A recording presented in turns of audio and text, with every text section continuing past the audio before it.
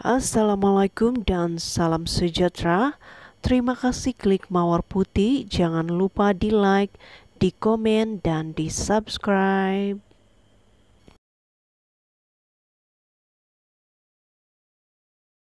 Baru-baru ini seorang bernama Adel Asia atau lebih mesra dipanggil Elika mendedakan telah diceraikan oleh suaminya selepas 8 hari mendirikan rumah tangga.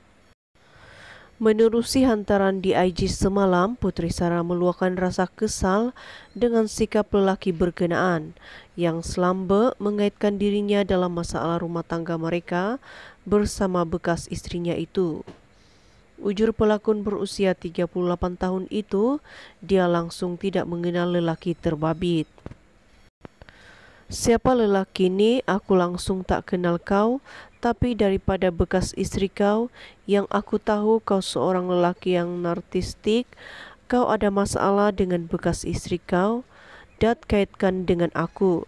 Nak tumpang leme ke bro?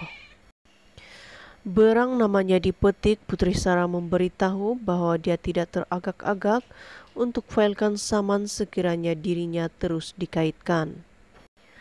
Nak kena saman dengan aku dalam aniaya bini sendiri dan kaitkan dengan aku, kau ingat aku tak boleh cari kau?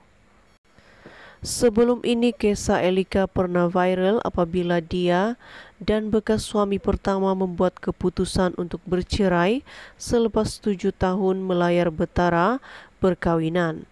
Pada 3 Mac lalu, Elika telah mendirikan rumah tangga buat kali kedua namun bercerai selepas 8 hari bernikah.